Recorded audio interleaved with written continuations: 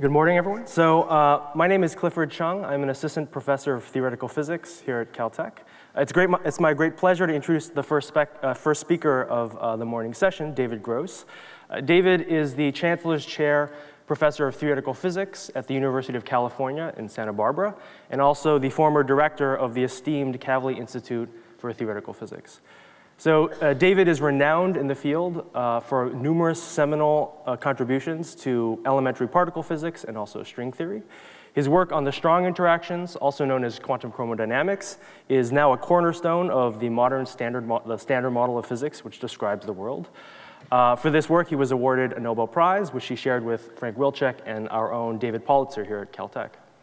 Uh, also, uh, was also an early pioneer and discoverer of string theory, and remains to this day uh, an active leader at the forefront of uh, uh, the most recent developments in theoretical physics. So please join me in welcoming David, who will tell us about the future of particle physics. So it's really a great pleasure and honor to be here at celebrating Feynman's 100th birthday. Uh, yesterday, I'm sure you were all there last night, uh, was absolutely spectacular. Congratulations to the organizers. It's a wonderful evening.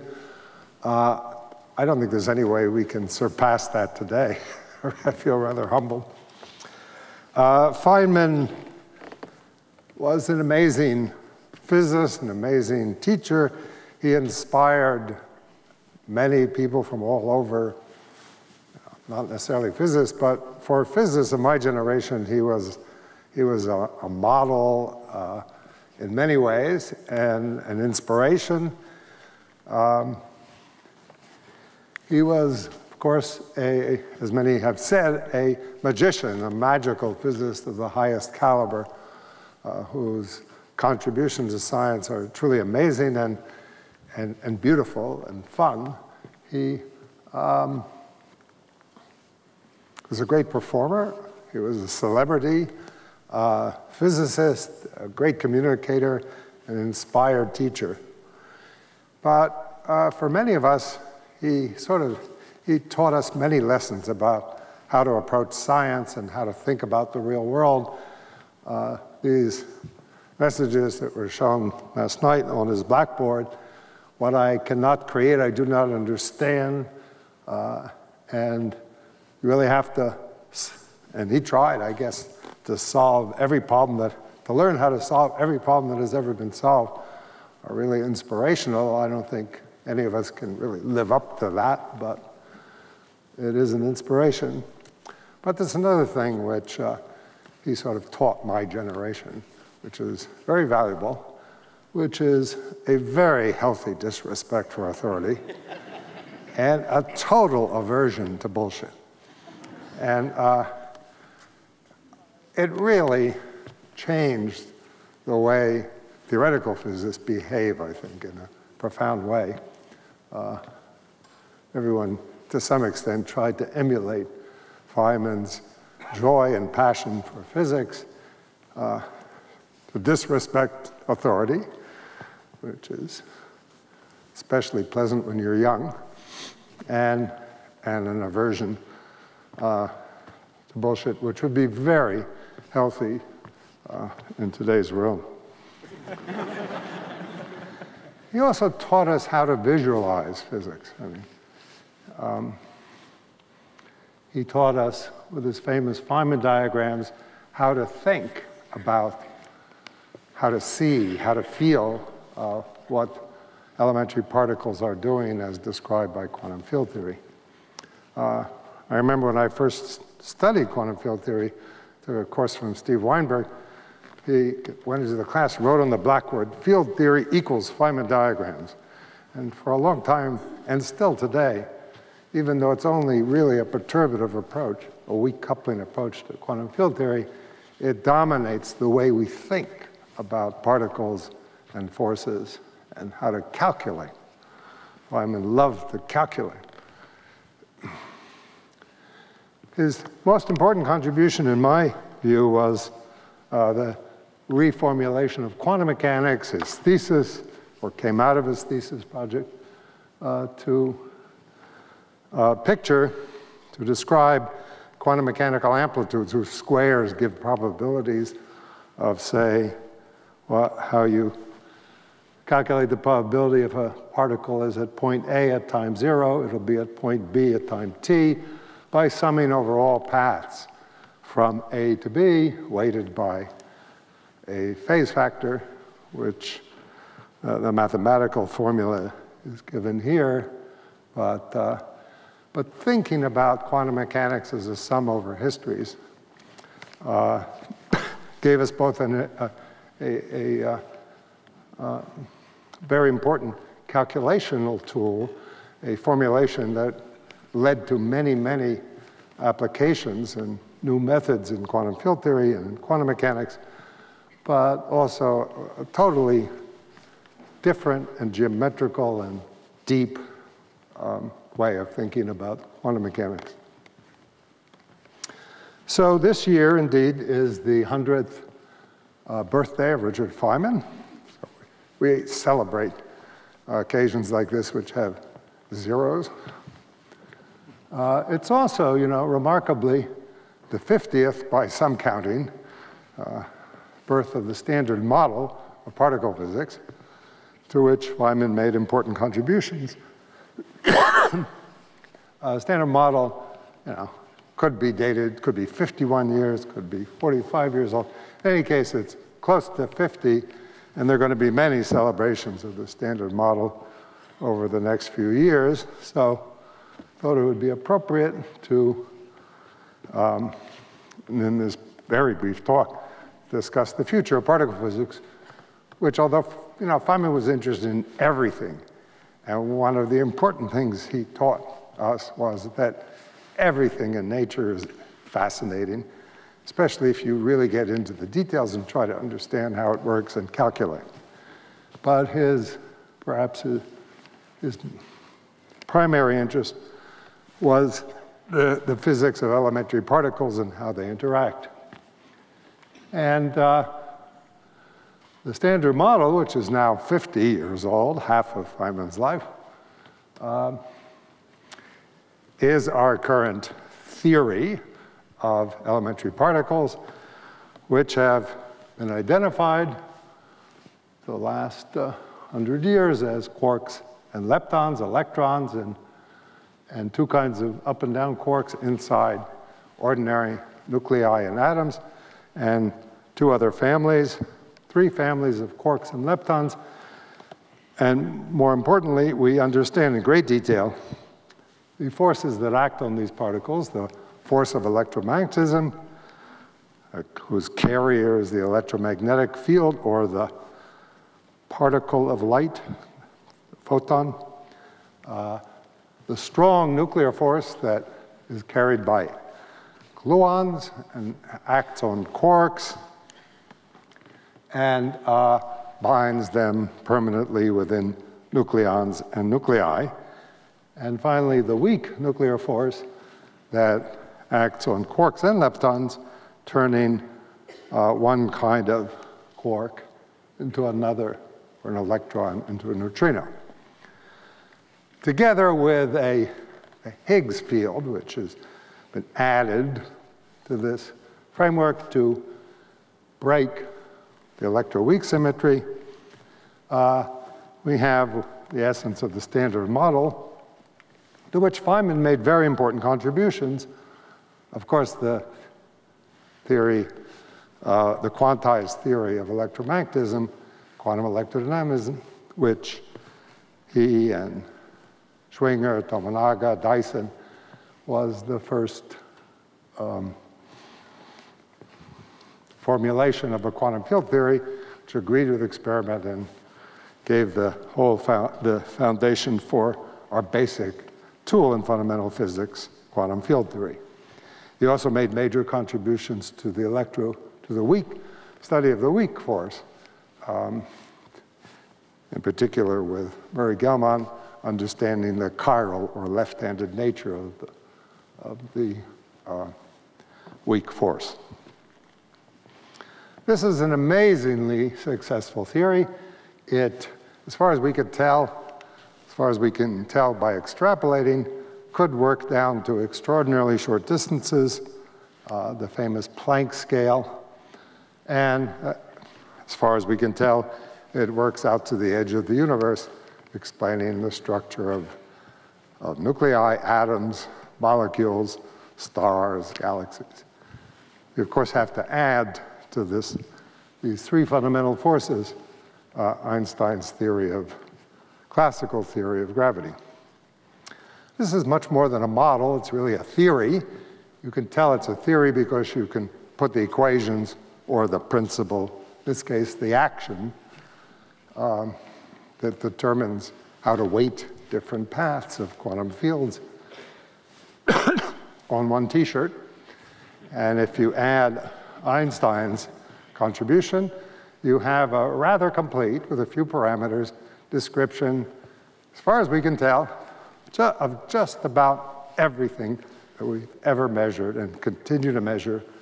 And in a absurdly reductionist sense, if you start with the uh, equations that follow from this action, uh, with a lot of work and powerful computers, we believe you could calculate the results just about, just about everything. Not everything, but just about everything that we have observed or continue to measure. Unbelievably successful. Uh, I hope very much that at the 50th anniversaries, we will call, start calling this the standard theory. It's by far the best theory physics has ever had. Now I could go on for the rest of the talk describing how well it works. I'll just give a few slides. Feynman, when the standard model um, emerged in the 1970s, Feynman leapt in. He made important contributions to its development, but when it, but he was obsessed with calculating cross sections like this using uh, originally very simple ideas, uh, but then QCD, and uh, I think he would have been astonished and pleased at this incredible agreement with experiment over, you know, 24 orders of magnitude of cross-section. This requires the kind of exquisite control that Feynman always sought to be able, from the theory to calculate with high precision. And of course, it's a, an amazing experimental uh, triumph to be able to, to measure these cross sections with such incredible accuracy. One more, is quite amazing. These are cross sections for jet production and the collision of protons uh, at energies up to a TeV, you see here at the LHC. Feynman uh, once gave a beautiful summary of physics. He, he wondered if in some cataclysm all of scientific knowledge was destroyed and one sentence passed on to the next generation of creatures, cockroaches, who knows, what statement would contain the most information in the fewest words. And he said, well, that's probably the atomic hypothesis or fact, um, whatever you want to call it, that all things are made of atoms, little particles, and move around in perpetual motion, uh, attracting each other when they're close, but repelling each other when squeezed into one another. And, you know, a lot of physics and a, Feynman could explain a hell of a lot starting from this sentence.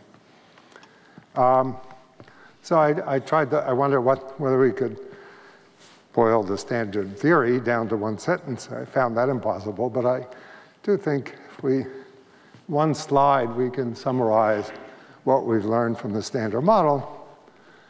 So matter consists of charged spin one half particles. Those are the quarks and leptons.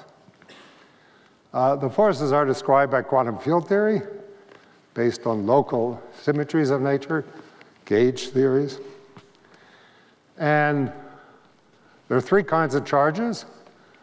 There are particles like some of the quarks and leptons that have electric charge. They're described by electromagnetism, a U1 gauge theory. And that force exhibits a what we call a Coulomb phase, long range interactions, forces that fall off like the inverse square of the distance. Then there are some of the particles, the quarks, actually all of the particles, quarks and leptons have uh, weak charges, we call them flavor, two charges now, and their forces acting on those charges are described by a non-abelian, an SU2 uh, gauge theory. And what we see in nature is that that force is screened, extremely screened, or Higgsed, and we achieve that somewhat, uh, unfortunately, by a rather unnatural scalar field sector introduced to uh, screen that charge, resulting in a very short range uh, interaction. And finally, the quarks have three other charges called colors, and th those forces are described by a SU3 gauge theory. Uh, but it, it uh, shows another phase uh, in which the forces are anti-screen. They get bigger and bigger uh, at, as you pull the quarks apart, and thereby the color charges are permanently confined inside, neutral, inside neutral uh, nucleons. That's a, that's a standard model, and I have a feeling it took a long time to understand this. Uh, sorry. Took a long time to understand this, partly because some of these phases are so different than electromagnetism, and the charges, especially the strong charges, are confined and therefore not apparent. but being presented with such a slide, I'm sure Feynman in 1950 could have worked out the standard theory in a few weeks. Uh, among these elements of the standard model, there's my favorite, QCD, uh, which aside from describing the nuclear physics with, uh, and behavior of quarks with great precision, gives us an example of what we should ultimately aim for, I call a perfect theory. Uh, because if we ignore the quarks, uh, which makes life easier, or set their masses to zero, which changes very little in nuclear physics, uh, one, there are no infinities in any case but also there are no adjustable parameters.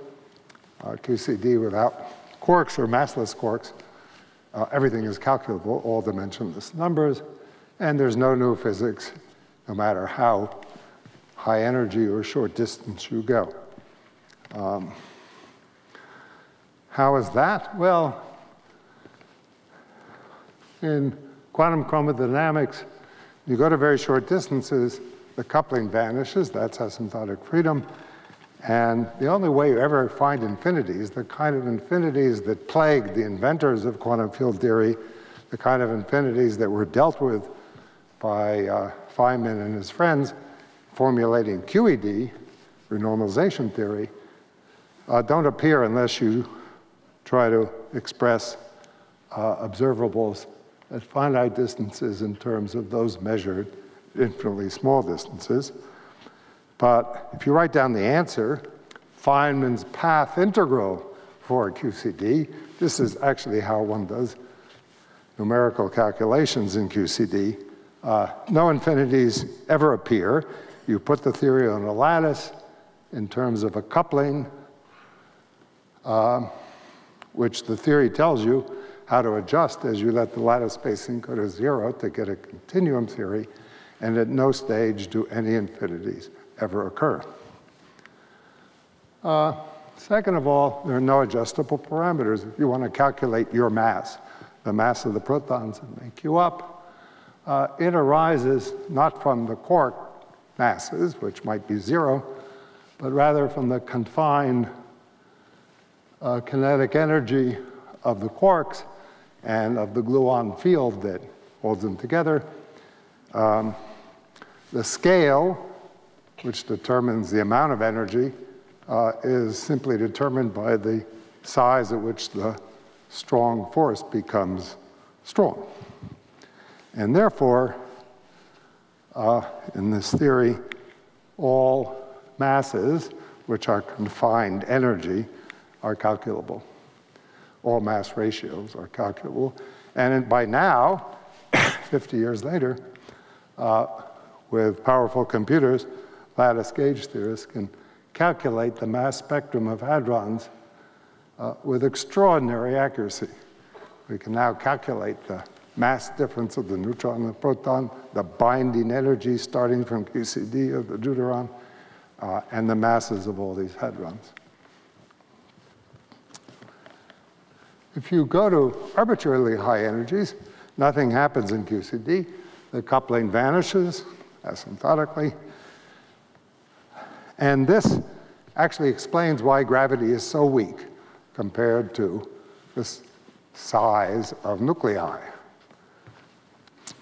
or explains why the uh, proton mass is so light compared to the Planck mass, which is the energy scale where gravity becomes strong. Because as you extrapolate, you get to the point where we believe, expect, that all the forces are unified.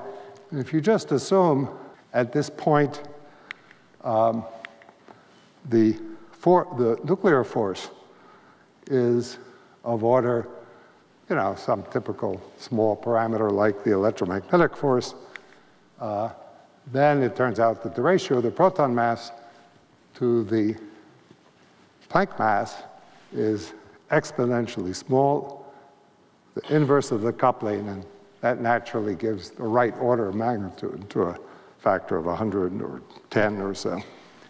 In other words, the reason gravity we are so big compared to the fundamental scale, and also why gravity is so weak at the scale of atoms and nuclei, is that uh, they might have the same equally strong at the basic fundamental scale, but as you go down to larger distances or lower energies, the uh, scale of the nuclear force increases logarithmically, whereas the scale of the uh, gravitational force decreases uh, like the uh, energy squared or 1 over the distance squared. now, the standard model isn't the answer. Uh, if Feynman was around, he wouldn't be, he'd be working probably on the questions that drive us to to physics beyond the standard model, and there are a whole bunch of um, issues, the most important of which are uh, driven by experiment, the existence of dark matter as observed by astronomers, neutrino masses that have been measured but not totally understood, their mixing, which might explain the baryon asymmetry of the universe, why there's matter rather than antimatter, and the cosmic acceleration, which we attribute to vacuum energy. And from a theoretical point of view, we have other motivations, which are why questions. Uh, for example, unification of the forces, which is called out for in the standard model. Other hierarchies of scales, not just the strong scale, but the electroweak scale the nature of matter itself and the masses that are, are, are generated are not understood. And of course, the, a problem that Feynman too was obsessed with, as we'll hear in the next talk, of trying to understand the quantum nature of gravity, quantize gravity, and apply our understanding of gravity to cosmology, inflation, and uh, the cosmological constant. What?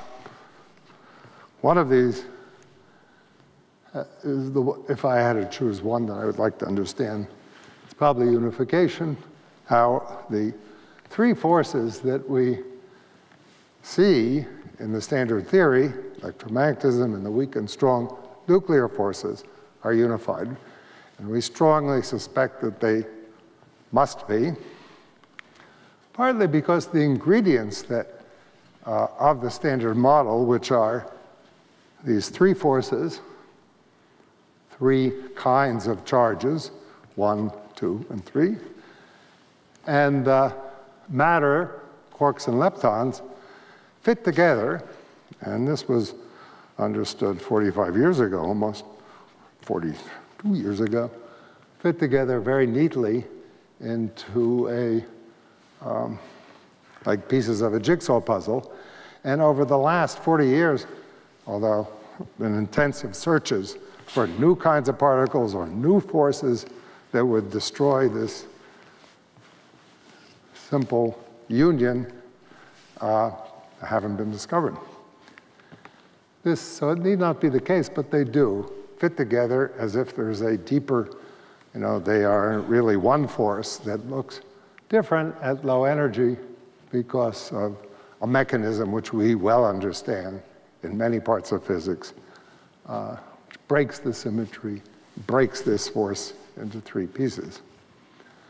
And because the forces vary with distance, it's perfectly possible that they have the same strength, the same nature at very high energy.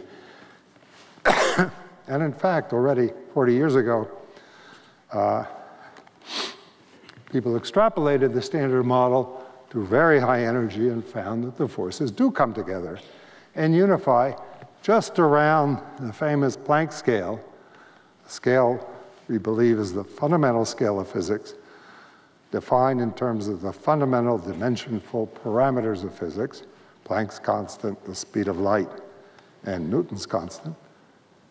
And that's the point where gravity becomes strong as well. So one of the big motivations after found the formulation of the standard model is to take this clue very seriously uh, and regard it as an indication that all the forces unify with gravity at this extraordinarily, this shouldn't be TeV, this should be GeV, luckily. uh, but a very short distance of 10 to the minus 33 centimeters. That could be a coincidence. You'd never know in this business. Uh, and many of my colleagues, or some of my colleagues, are willing to give up this clue if they have some idea. Mostly, it's, as far as I can see, it's not wor worth giving up this clue yet. So what is the state of particle physics? Well, my opinion, the bottleneck, particle physics is experimental, not theoretical. Easy for me to say. Why? It's that Planck scale, that scale, fundamental scale identified by Planck. We theorists have no problem extrapolating, as I just showed, to the Planck scale. And that's because physics scales as you vary the energy, in some sense, like the log of the energy. So nothing much happens as you scale to these extraordinarily high energies, and we do it all the time, and no, nothing bad happens. Maybe something happens, you get to the Planck scale, because gravity becomes a strong quantum force. But, so we do that, and to a large extent, we've been focused on ideas that come from string theory. But experimentally, to build an accelerator to probe those very high energies or short distances, the difficulties and the costs scale at least like the square of the energy. And experimentalists cannot easily extrapolate even by one order of magnitude. So that's what I call, well, that's a fact of nature. And Feynman stressed, facts are important. Can't do anything about it. We have to learn to live with it. But it really is bothersome. It's what I call the curse of logarithms. Again, physics, scales, physics here is represented by S, the action. Scales like the log of energy. And on this scale, going from the atom to understanding the nucleus, probing the electroweak forces, even the next collider we might build soon, uh, is quite a distance in, in energy. But the scale of gravity, since things are only very logarithmic, is only another step like this, not so bad. And if this was possible experimentally to probe, I have no doubt that we'd finish the game in less than a century. But problem is that the cost goes like e to the s, 2s.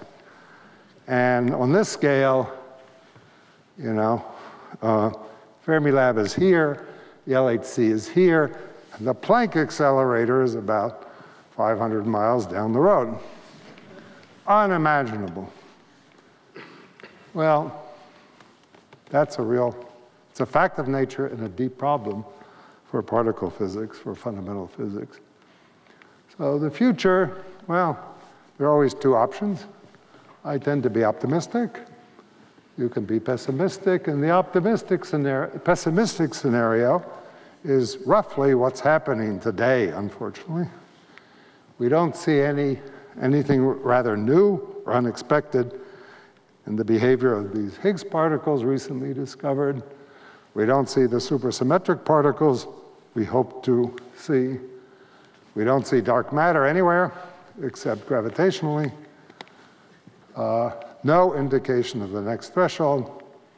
It could be very high. What to do? Build the next accelerator, obviously. We can, it's not that expensive. Uh, and we must do that. What else? The optimistic scenario is that we'll start seeing at the LHC or elsewhere deviations from the standard model, we'll produce supersymmetric particles, say, and we'll detect dark matter. This is perhaps the most immediate challenge, because it's definitely there. And we'll have guidance for the next steps, and there are many proposed next steps. Uh, either an extension of the LHC or the Great Collider project in China, uh, which they can certainly afford to do and to have the ambition, ambition. But we also need new technology. I mean, if you really extrapolate to these very high energies, um, it looks hopeless. On the other hand, one thing I learned from history is that it's impossible to predict technology and experimental advances. Who would have thought 100 years ago that we could see and manipulate atoms and build materials atom by atom? Uh, there are ideas. Very little money is being devoted to this, very little effort needs to be done. What about theorists, however? They have an easier task, and perhaps they should follow Einstein's encouragement and warning. Einstein said, the successful attempt to derive delicate laws of nature along a purely mental path by following a belief in the formal unity of the structure of reality encourages continuations in this speculative direction. The dangers of which everyone who vividly finds it, follows it, must keep in sight. Well, we all know Einstein tried for most of his life after his great successes and failed. But uh, we have no choice to pursue these clues and to explore theoretically, and that's what theorists have been doing, mostly using string theory ideas. Um,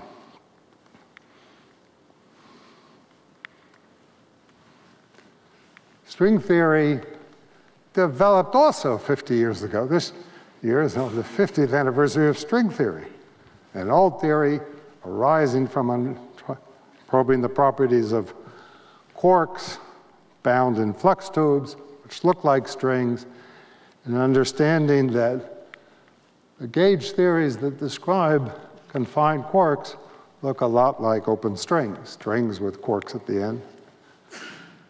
What was amazing in string theory was that uh, when these strings were closed as they had to be, they described the quanta of gravity, gravitons, and that string theory automatically and surprisingly unified the gauge forces that are the basis of the standard theory with gravity.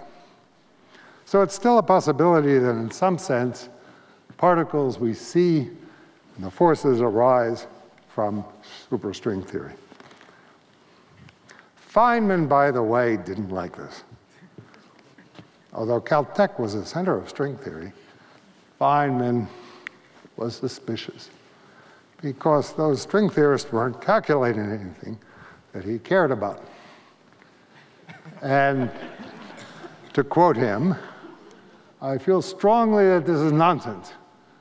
So I can entertain future historians or celebrators at his birthday by saying I think all this superstring stuff is crazy and it's in the wrong direction.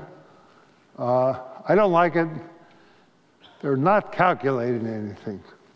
What, he was interested, like we all are, what are the masses of the elementary particles, the quarks, all these numbers in the standard model.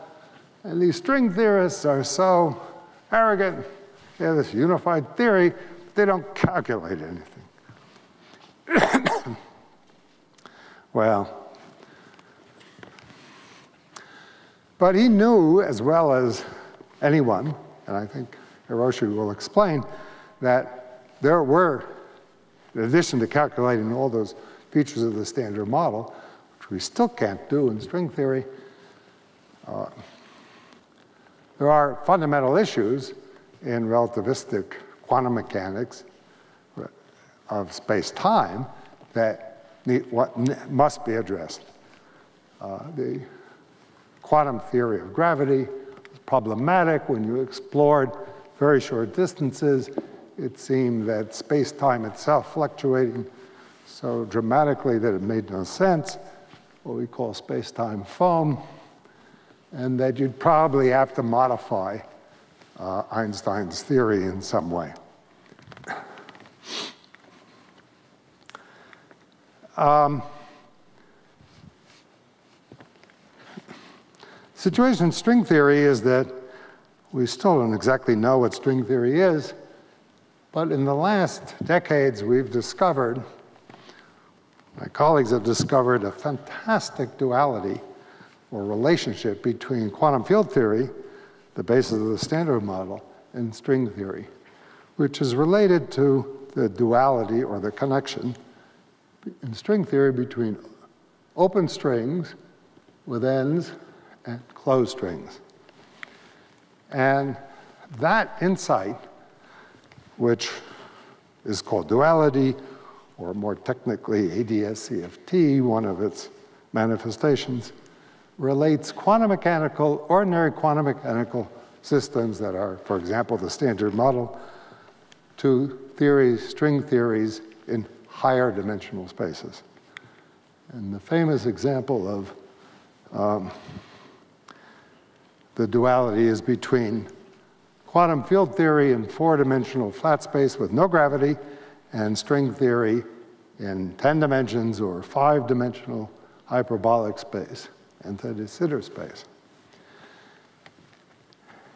So what really has happened dominated particle theory or the goal to unify all the forces and understand quantum gravity in the last 20 years is the exploration of the theory and the connection between quantum field theory and string theory. And it's had enormous um, byproduct. It's given us new insights into the gauge theories of the standard model, into QCD uh, and its various properties, but also into condensed matter physics, strongly correlated electron systems, uh, and beginning to resolve some of the puzzles of quantum gravity, black holes,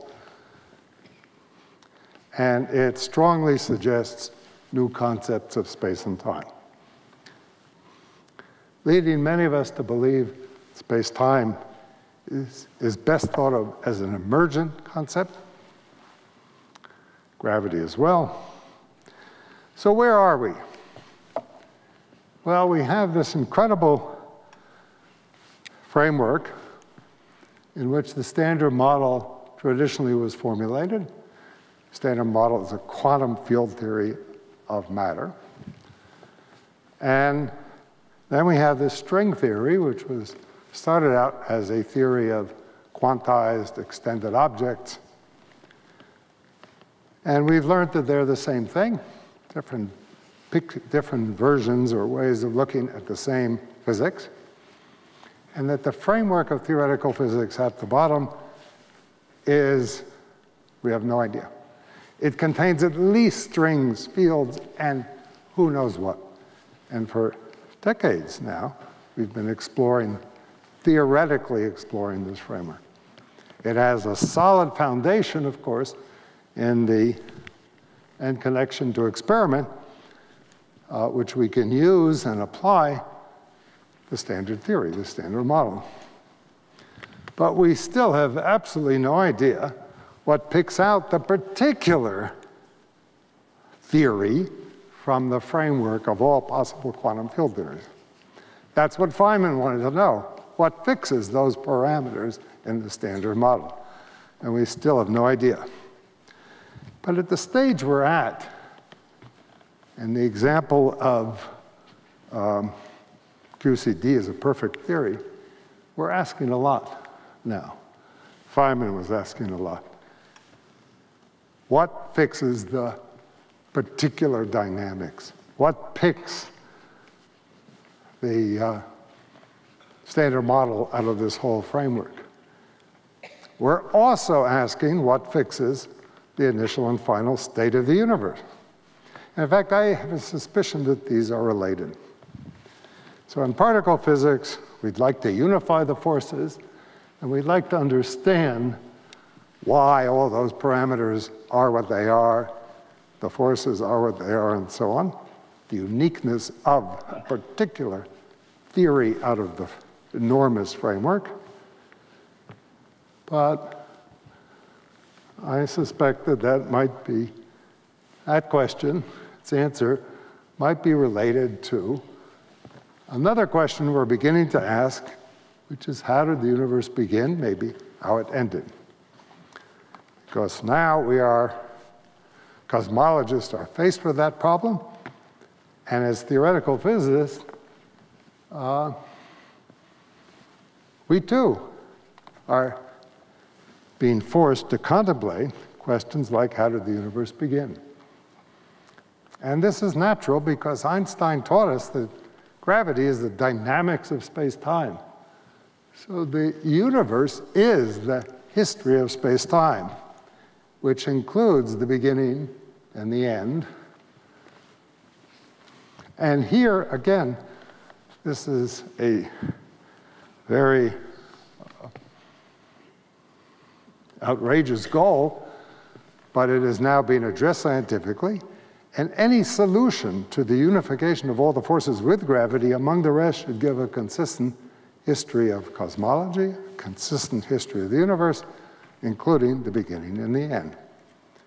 Now, all of our multiple candidates for theories in the framework of string slash field theory so far are break down if we go to the beginning of time, beginning of the universe. So these problems might very well be related, but they're extraordinarily difficult. And they're made even more difficult because our most fundamental concept, that of space-time, is itself being threatened as we probe the quantum nature of dynamical space-time, of quantum gravity. So that's where we are. We are asking very difficult questions. We're not yet at the point where we can calculate, and we might not be until we uh, begin to understand the framework uh, this enormous framework of strings and fields that uh, might uh, give us a consistent history of the universe and pick out a unique dynamics from this marvelous framework. So we have a wonderful theory of elementary particles. Feynman would have happy to see uh, and celebrate its successes, but the most important questions remain to be answered. We do have fantastic experiments and instruments and even more fantastic speculations. So the best is yet to come. Thank you.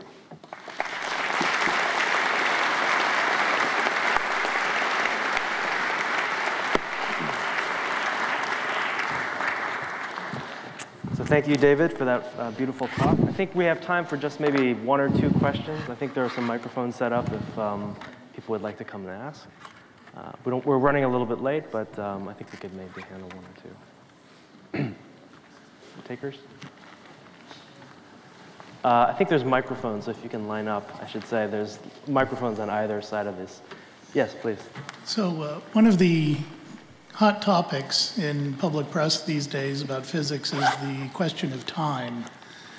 Uh, a number of books have come out about it, uh, including um, some from Sean Carroll and here at Caltech. What are, what are your thoughts about time and um, and is it you know what do you what do you think about that subject? Oh boy, uh, I could I could talk for a long time uh, about that, about time. It, um, so we, many of us are convinced that space-time, unified, is an emergent concept. Uh, that, of course, is really difficult to imagine for time. So how could you formulate physics without time? Um, time has many, many mysteries. Um, some we understand roughly, like the arrow of time. But why it correlates with the arrow of the cosmological expansion is a mystery that goes back to the initial conditions, which we, I think, are beginning to have to address. But there are many features of time that are truly mysterious, like the concept of now. I mean, in physics, physicists know that there's no such thing as now in, in the equations we use to describe physical reality. And yet we all feel that there's a now, it's just past, and there's now in the past. And a new now is coming very shortly from the future, and we're moving, and, but this doesn't, is not in accord with our equations or our theories. So it's an illusion, but how, how that works out is partly a problem of understanding the human mind, but also the physical universe. So time is the most interesting of all of our physical um, concepts. And uh, as many, there are many mysteries. Um,